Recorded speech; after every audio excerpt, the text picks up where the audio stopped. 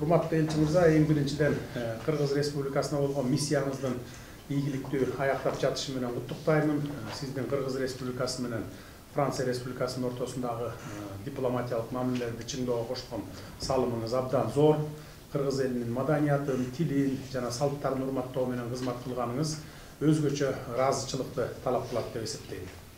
Сиздин миссияңыздын алкагында биздин мамлекеттердин ортосундагы саясий соода экономикалык маданий гуманитардык алакалар жаңы деңгээлге көтөрүлгөнү бул сиздин ишмердүүлүгүңүздүн жыйынтыгы.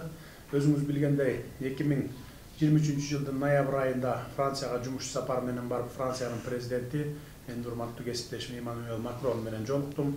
Ошондой эле ушул жылдын июль айында жайкы олимпиада оюндарынын ачылыш аземине катышуунун алкагында макрон мырза менен дагы бир жолу жолуктум. Бул жолугушууларды мен өзгөчө жылуулук сезимдер менен эстейм. Кудай колдоп олимпиадага барган кыргыз спортчулар жакшы жыйынтык көрсөтүштү. Париж олимпиадасы кыргыз эли кыргыз мамлекети үчүн тарыхый иш чара болуп калды деп эсептейм.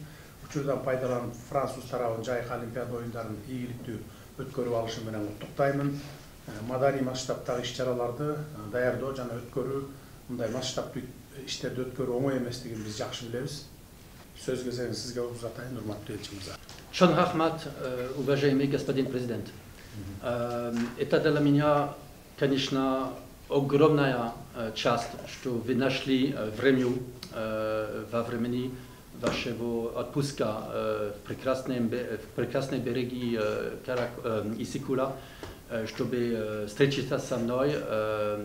Да, я улетаю через 36 часов. После три года и 10 месяцев работы в Киргизстане, и мне вы понимаете, понимаете, как мне приятно было э, работать в вашей прекрасной стране, познакомиться с вашим прекрасным народом. Э, и э, это было для меня очень важное время моей жизни. Я никогда не буду забыть Кыргызстан и, и кыргызстанов.